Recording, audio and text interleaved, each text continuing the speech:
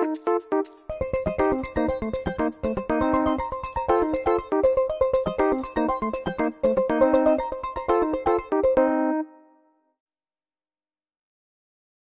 everyone, this is Applicable Dave. Today we're just going to show you a short video on how to set up your Nike Fuel Band initially once you plug it into your computer. Now what you initially want to do after you plug in your Fuel Band to your USB port on your computer, you want to go to the Nike website which is nikeplus.com slash setup. You can also find this information on the box and also in the quick start guide.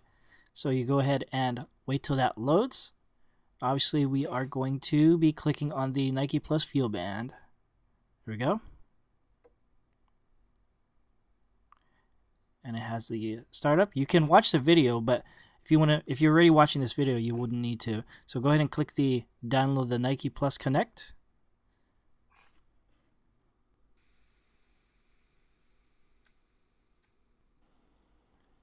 And after you completely downloaded it, go ahead and retrieve the file.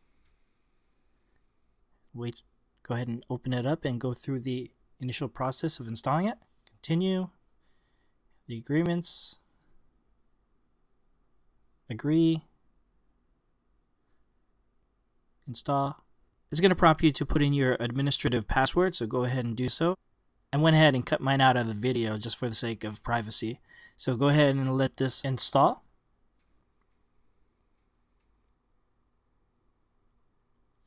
Alright, now that's completely done, go ahead and press close, and then we'll go ahead and do the update. I'm sure your computer would need an update for this application. The loading time does take a while.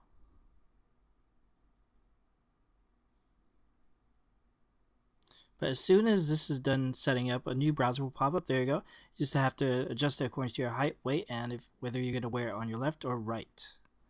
I went ahead and skipped that but you can go ahead and fill it out according to how you want to do it. And this screen, you have to set up your daily goal. You have the normal, the active day, and your high energy day. And of course, it has all the point values there. Then, of course, you log in. If you have a Nike Plus account, go ahead and fill that out. Or if you'd like, you can log in through Twitter or Facebook. Now you can skip that. You can get extra motivations, but I think it might be bothersome for me. And we're almost done. Go ahead and click finish.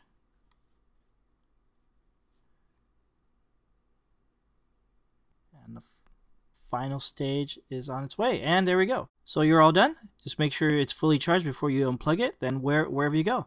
But thank you so much for watching, guys. I hope this was helpful for you guys. If you guys have any questions, you can contact me, twitter.com slash But until then, catch you at the next video.